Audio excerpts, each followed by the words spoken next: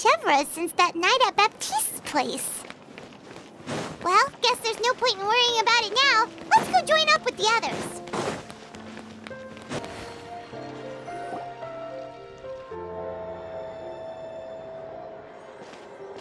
Good morning! Ayaka and I were just talking about you. Is Chevreuse still not joining us today? Uh, probably not. We haven't seen her either. Huh? That, that's such a pity. Director Furina said that we've only got a few small scenes left before wrapping up the entire thing. She even said that she'll get me into a couple scenes so everyone will have a chance to shine in front of the camera. We were also planning on having a victory feast once we're all finished filming. You can join us, right? Mm, if only Chevreuse was here. I still haven't taken a photo with her. I'm afraid that can't be helped. Those special patrol folks are like phantoms when they've got a case on their hands. But to be honest, I'm even more concerned by what I read in the Steambird earlier this morning. It said that the killer in the murder case was none other than the author of The Two Musketeers. Oh, yeah, I heard about that too. He came forward and confessed his crimes, but gave no explanation as to why he pulled the trigger. We didn't know about this case at all when we joined the film. Is it going to affect the reception of our work? From a pure publicity standpoint, this will draw a lot more attention to our film. Uh, I have to say, though, that no director can be perfectly comfortable with garnering attention through means other than artistic skill.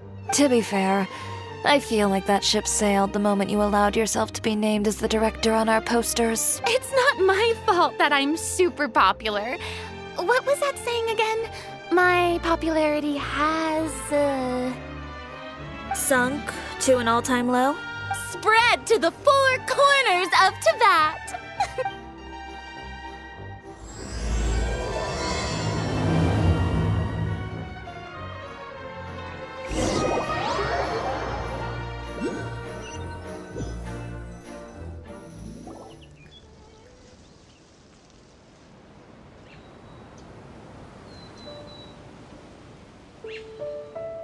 Uh, excuse me, everyone.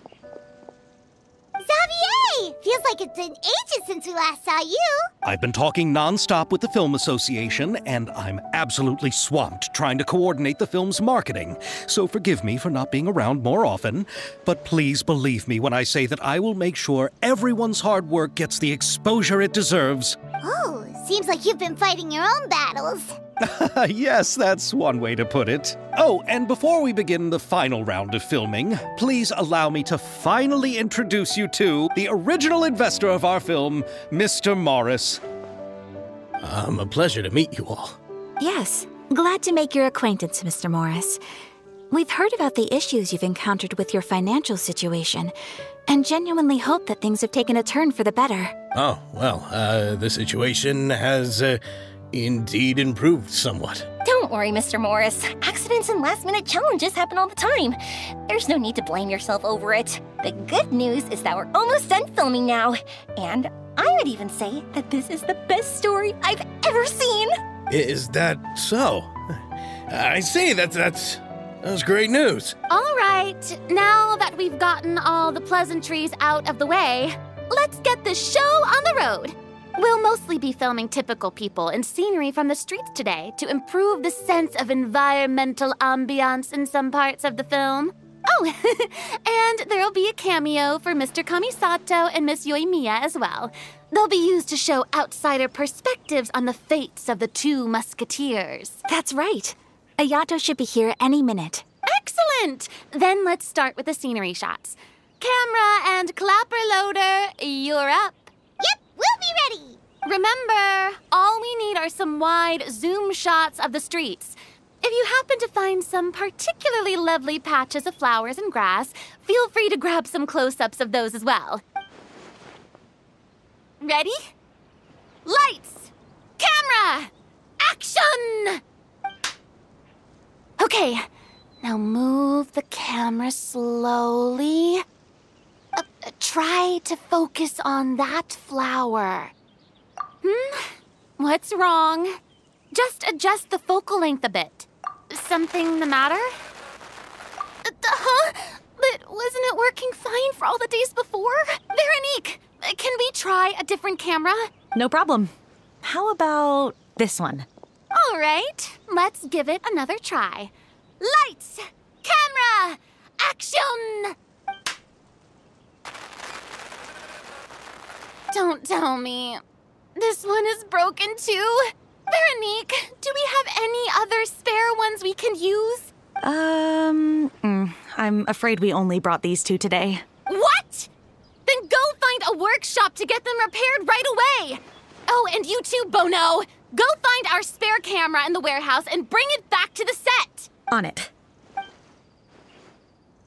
Greetings, everyone. My apologies for the delay. Hmm? Is something the matter, Ayaka? It seems like there are some issues with the filming equipment today. We're stuck for the moment. I see. Well, let's not just stand here twiddling our thumbs. Actors, to the makeup booth. We'll start on the next scene as soon as we get a working camera. The people at the workshop told me that the part which holds the lens in place seemed to have fallen off. That's super strange. It was perfectly fine just yesterday. Well, no time to dwell on that now.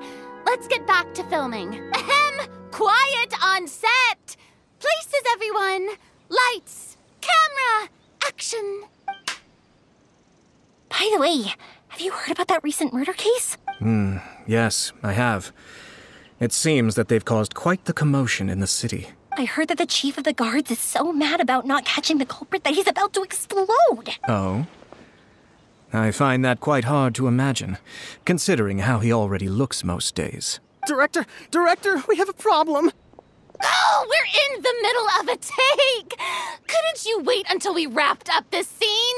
No, director, our film, all the finalized film that we've been keeping in the case has disappeared. Oh, wait, well, what did you say? Mr. Bono, please take me to where the film was kept right away. I'm coming too. No, Yoimiya, you have to stay here. Oh. Okay, listen up. Everyone who's not working on this current scene can go with Bono to look for the film.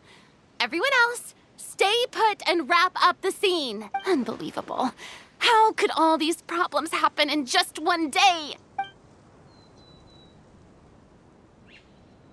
We're back. How did it go? Did you find the film? We found it in the sewers. Huh? In the sewers? Is the film still okay? We discovered it just in time, so we should still be able to salvage it. The others are checking now to see if we lost any specific scenes. Oh, you scared me for a moment there. I nearly thought we had lost everything. I really don't want to experience that feeling of despair again.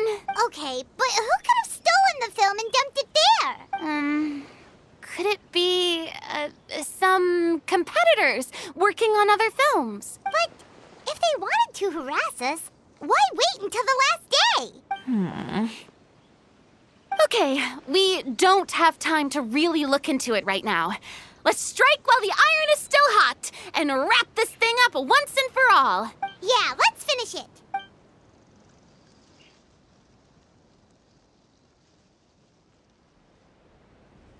I would like to officially announce that our entry to the festival, The Two Musketeers, has now concluded filming.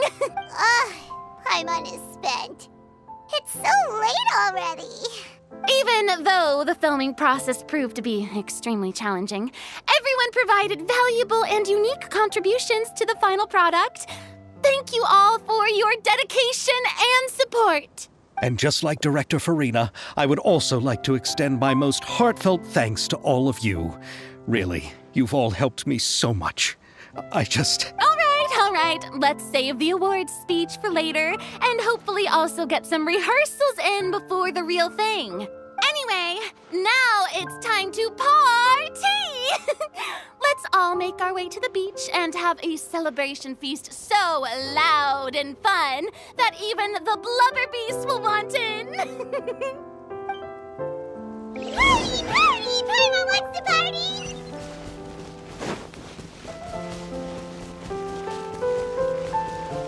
Whoa, this place is hopping. Everyone's finally getting to relax after wrapping up the film. Let's go chat with someone. Have you ever seen a fireworks show, Mr. Morris? It's pretty amazing. Um, I'm afraid I haven't, but I'll, I'll take your word for it.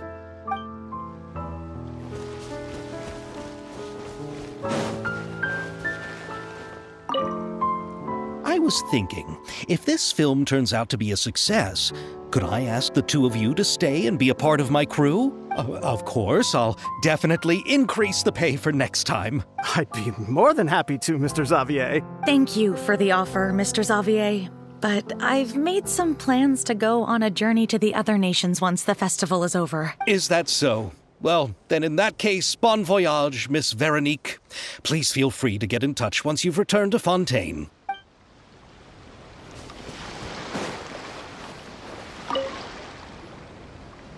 Hey, Ayato! How's your work been going? Everything went rather smoothly.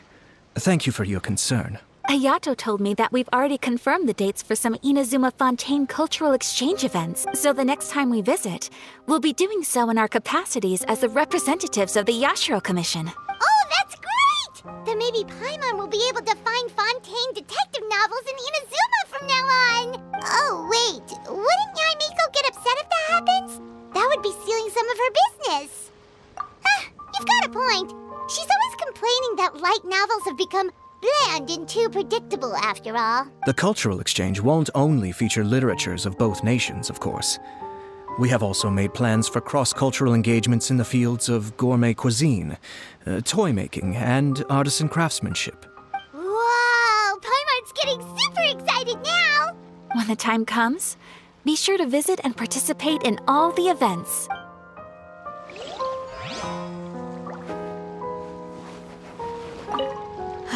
This is turning out to be quite the party.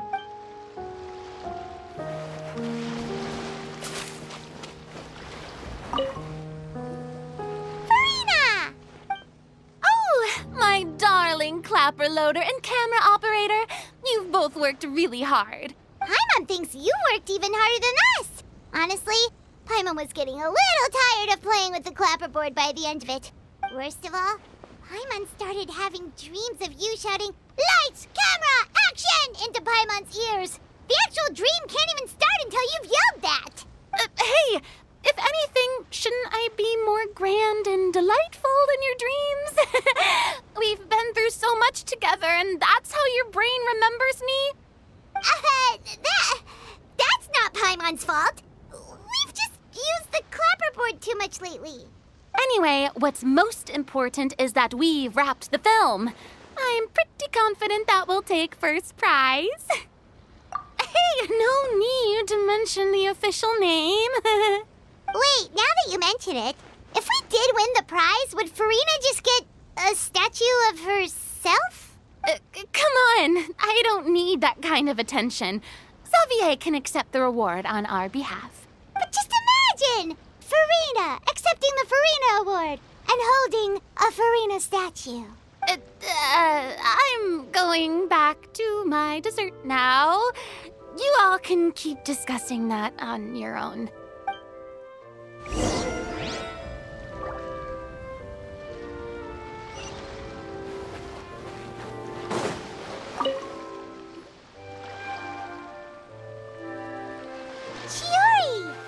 Hey, you two. You not really into these kinds of big social occasions? Uh, not particularly. But this is still better than Fontaine Fashion Week. But if this film becomes a big hit, people will definitely come flocking to your shop. Yes, that's highly likely. As long as the film can premiere as planned. Are you still worried about the case? That and all the obstacles we had to face today. Hmm, you're right. It's as if all our bad luck just manifested at once. But why today of all days? Hmm? No. No, it's nothing. We've already delivered the film to the editors, so there should be nothing more to worry about. How are you doing, Mr. Morris? You having a good time? Well, you could say that. Uh, do you happen to know when the party is scheduled to end? Judging by how much fun everyone's having, I'd say probably not until well after midnight. Is there something that you still have to take care of at home, Mr. Morris? Oh, well, uh, I'm just not a late night person, so I might take off shortly. Oh no! Uh, silly me. I almost forgot something super important. Oh, uh, what is it? I prepared a whole batch of fireworks for the party, but I forgot to bring them over from the warehouse. Fireworks, you say? That's, uh, truly a pity. Sorry things didn't go as planned. Could you help me carry them over, Mr. Morris? I won't be able to fetch all of them by myself. Me? Uh, uh, are you sure that you can't find anyone else? I just wanted to make this a surprise for everyone. The warehouse isn't far from here. We'll be there in no time. Pretty please, Mr. Morris. These are some of the best fireworks I've ever made. So I also want you to see them before you leave. They're stunning.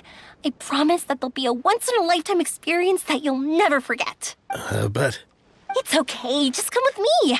If we're sneaky enough, nobody else will see us leaving. all right. The warehouse is right over here. I moved the fireworks there in advance, so it shouldn't be too much work bringing them back. Uh, it's still a ways away from the party.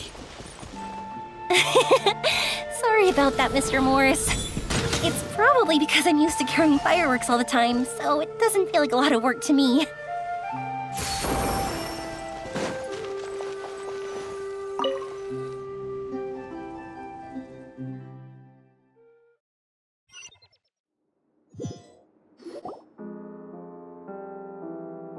Hmm? It's dark in here. Uh, wait here, Mr. Morris. I think the light switch should be somewhere over here. Uh, why did I have to get roped into this? Ah! What, what was that? Ah! Ah! Who's there? Get me out! Get me out of here! Did you really think you'd get away, Morris?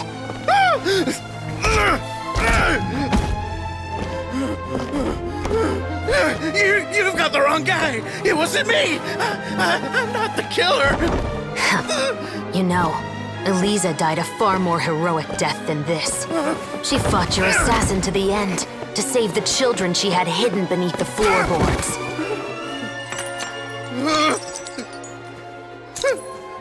That is Eliza's pendant. The one with a photo of you two inside. The one you gave her. Ring any bells? It's a fake. It has to be. There's no way. No way your assassin didn't destroy it, you mean?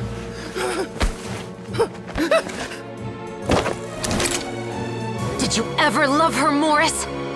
Or was killing her always the plan? No, no, no, please. Listen to me. I told Eliza to keep us a secret. I paid her plenty for her silence. I never thought she'd keep the child. Everything was gonna come out, and I had no choice. She forced my hand. No! I'm begging you. I have money. Just, just name your price, please. You can keep your Mora, and you can go to hell.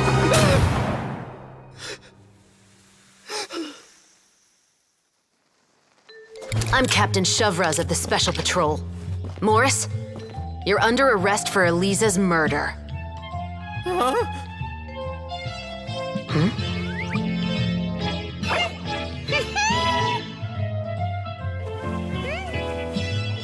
You're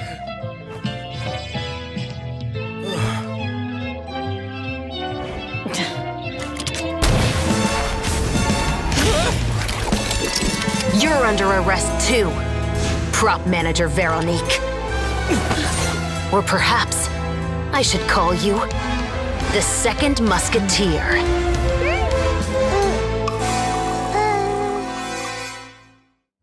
Wait, what's going on?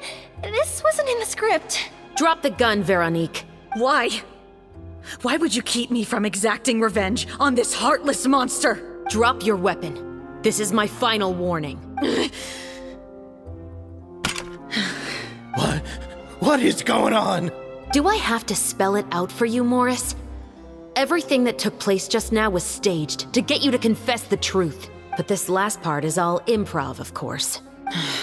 Uh, Chevreuse, you told us you wanted us to help you stage a play. You never said anything about the Second Musketeer. It's because even I had no way to confirm my theory until now. Thank you for your performance, Yoimiya. Could I trouble you to go and bring in the other Special Patrol members? They should be on standby just outside. Oh, and please tell the other cast members not to worry about us. We'll be rejoining them shortly. On it!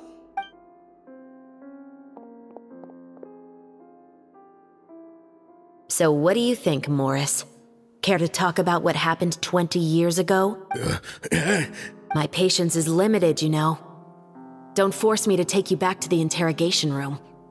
I'd wager that you wouldn't last for more than a minute in there. With the recording we made, you have no chance of winning in court. Cooperating with us now is the most practical move. All right. I'll talk. I hired an assassin to murder Elisa. She once worked as a maid on my family's estate. She was very beautiful, and after some time I fell for her. We kept our relationship a secret and carried out an affair for some time, but it wasn't long before she became pregnant.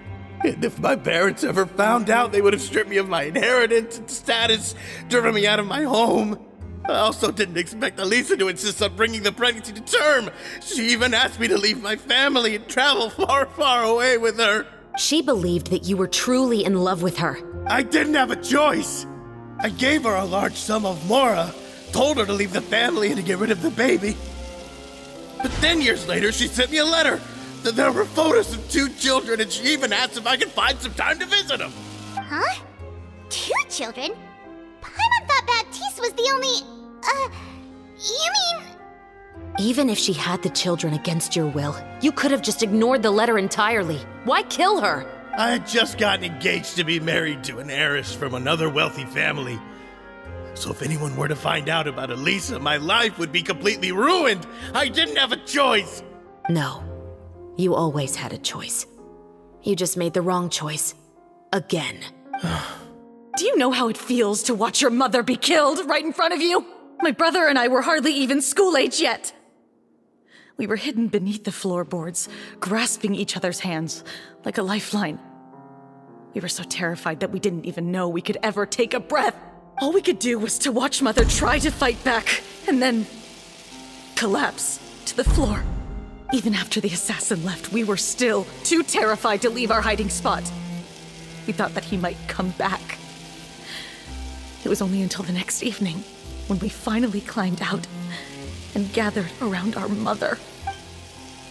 But she had already become cold and stiff to the touch. You made up your mind right then and there to bring this case to light. Not only that, we resolved to get our revenge. And that's why you became the Musketeers. No, that's why I became a Musketeer. The man from before was also killed by me. My brother had nothing to do with it. I figured as much. Uh, you did? I once told these two that he didn't look like a killer to me. His confession from that night also rubbed me the wrong way. I think what really tipped me off was how could I not feel a sense of regret in him? Huh? He confessed faster than any criminal I've ever met, but he didn't say a single word about you. He insisted that he was the sole perpetrator in the case. But after the questioning ended, I disassembled the musket we dug up from his backyard, put it in front of him, and told him to reassemble it. Wanna guess how far he got? he had no idea where to even start. He's never touched a gun in his life. Based on that, I determined that he was not acting alone. He only surrendered himself to draw our attention and create a moment of opportunity for his partner. So, I decided to play along. And as expected, the second musketeer followed us without hesitation once she saw Morris get separated from the rest of the cast. Besides, why else would he call the novel The Two Musketeers? But how did you know it was Veronique? I figured it out the moment Baptiste told me his father's name. That so called financial crisis was all just a ruse. He just wanted to sign up as the investor and then leave the film without any source of funding.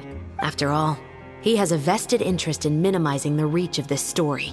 It's really just the same thing as what he did to Eliza all those years ago. Human scum.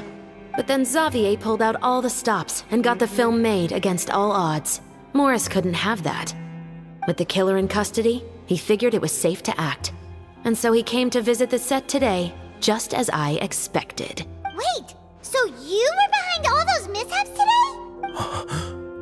As for the identity of the second musketeer, I assumed they'd probably stay close to Morris and look for an opening. And if they already knew that Morris was the film's investor, then that narrowed the list of potential suspects as well. Furthermore, being the props manager would allow the culprit to avoid scrutiny by purchasing mechanical parts in the name of the crew. With that hypothesis in mind, I went back to check Baptiste's orphanage adoption records. Guess whose name I saw on the same page, just a few lines from his. My brother. He trusted you. As in, he trusted me to perform the deed on his behalf? He trusted you to stand on the side of justice. I am. I thought you could do it as well. Oh, the look on your face when you told him to go to hell. I really thought you'd put a bullet in his brain. You know what he has done. Are you telling me that you'd rather see him spend the rest of his life living like a king in the fortress of Meropide? I will never be able to forget the feeling of my mother's cold, lifeless hands. And you would call this ending fair? Is this what you call justice? I won't lie, Veronique. I did hesitate when your brother first told me about the truth. I wondered. I agonized over whether I should really put a bullet in his head. So why don't you? Because that should never be how justice is carried out in this world. Perhaps, to you, justice is simply reciprocated an eye for an eye and a life for a life. But everyone has their own understanding of justice. If everyone were to pursue their own definition of it, there would be no more order in this world. Today, you'll kill Morris, and tomorrow, his children may come for you. The world cannot render judgments based on a desire for revenge.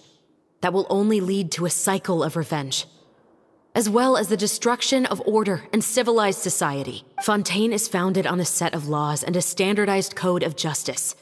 That is why we are the nation of justice. But with all that said, I will promise you this. Morris will not lead a cushy life in the fortress of Meropide. Chevreuse, the rest of the special patrol is here. Thank you so much, Yoimiya. Letelier, Terena, please take them away.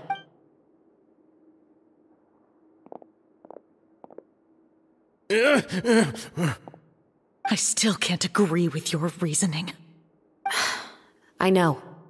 Justice has not been delivered. At least, not today. Chevreuse. Let's go.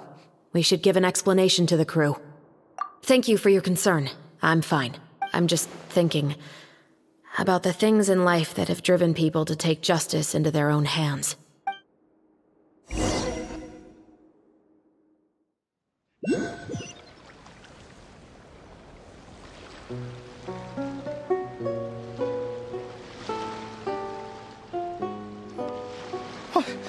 Would have thought Morris would turn out to be. Uh, I'm at a loss of words.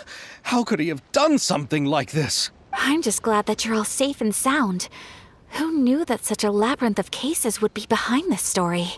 Well, what should we do now? We have a finished film, of course, but should we still go ahead with the premiere? What do you mean? Shouldn't you be even more motivated to spread the word now that you've learned the truth? Chiori is right. I'd also like more people to see this story for themselves. But the real ending of the story seems to have deviated somewhat from the one in the script.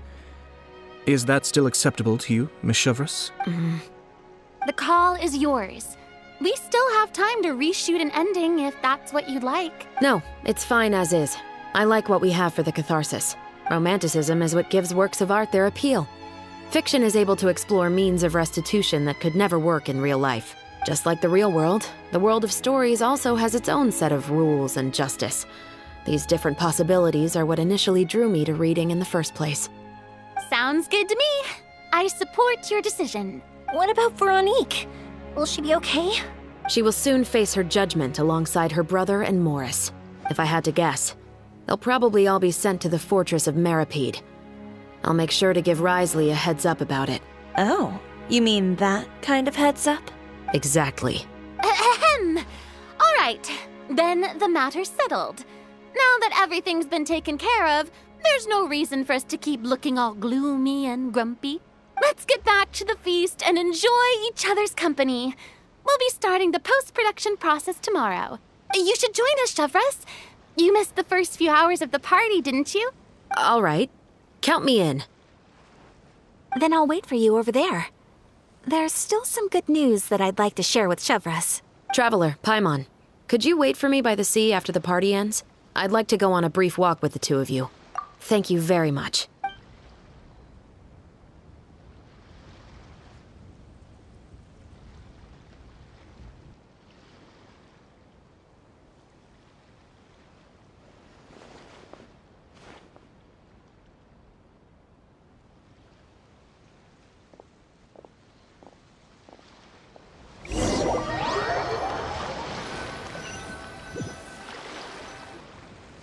Sorry for the wait. Oh, we weren't waiting long at all. Is there something else you wanted to tell us? No, I don't have anything new to share.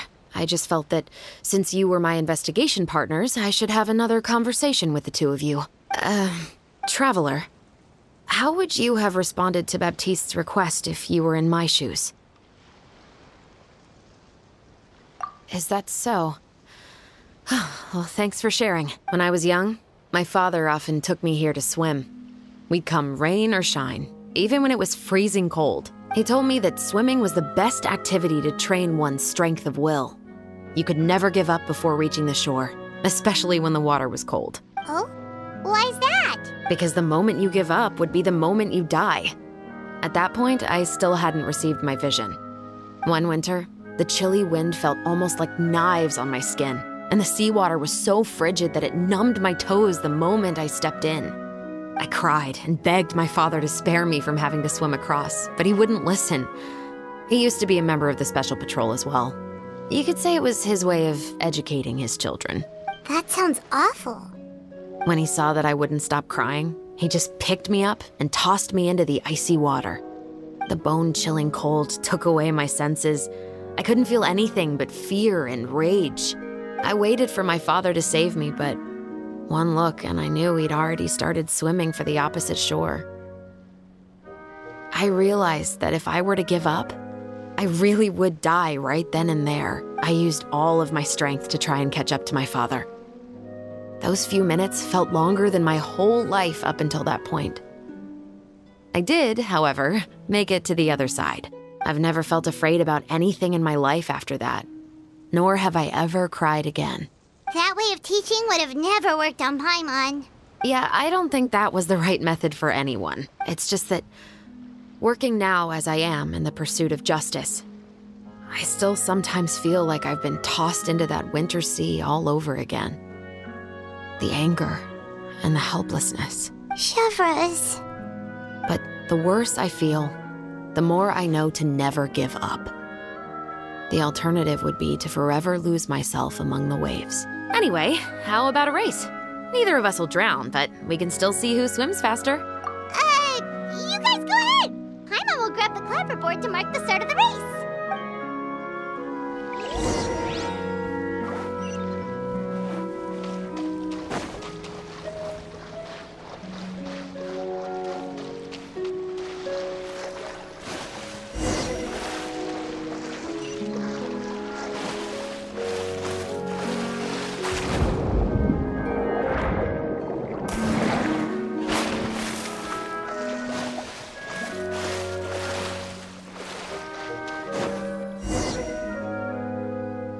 Oh, that felt good.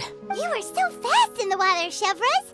You were swimming even faster than Paimon can fly. Uh, so, about the Special Patrol, did you join because of your dad? Partly, but I'd say I was more inspired by the heroes I read about in stories growing up. Oh, so it's due to your love of stories. Of course, it was only after I joined the Special Patrol that I learned that truth is often stranger than fiction. Come on, let's walk a bit more.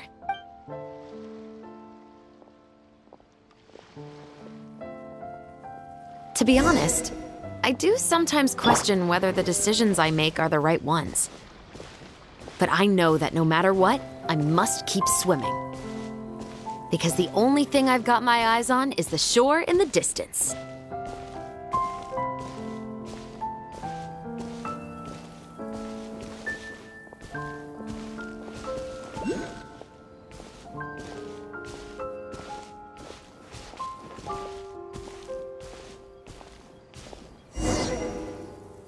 Thank you for coming on this walk with me.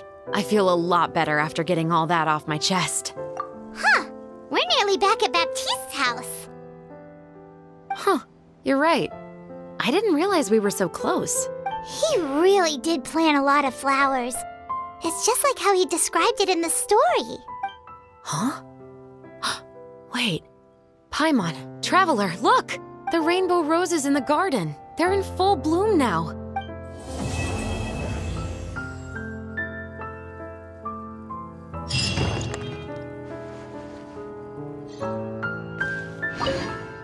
Even though it's a bit late, I must thank you for investigating this case with me. Not on behalf of the Special Patrol this time. It's a personal expression of gratitude from yours truly. Oh, you want to hear more about my father? To be honest, I didn't spend that much time with him. He was always busy with the Special Patrol, so he would often return home really late at night. Some nights, he didn't come home at all. Once, he didn't come home for a long time, maybe a whole week or so. When I went out to buy food, I learned that he had become a criminal, and by extension, that made me a criminal's daughter. But we can talk about that another day. I actually have a lot of sympathy for Veronique and Baptiste. I can understand the hatred they feel for their father. But that doesn't mean I'll allow them to walk the path of evil, even if it might lead to another sense of justice. Films are different from the real world. They're a form of art and represent the wishes in people's hearts. I adore the two Musketeers, and I'm very happy to have had the opportunity to act the role as one. I can't wait to catch the film when it premieres in the Opera House.